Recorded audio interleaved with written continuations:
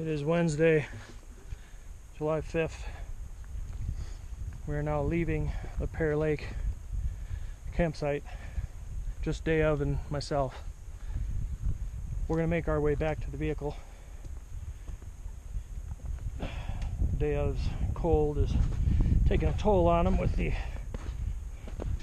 elevation adding to that. That breathing thing's rather important, so you know. This is the snowfield we had to come across on the way here. So we've got to come back out the same way. It's only about maybe an eighth of a mile through snow.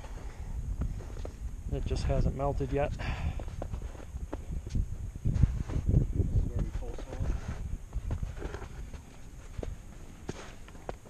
It's probably, what'd you say, about 65 out night right now and rapidly increasing?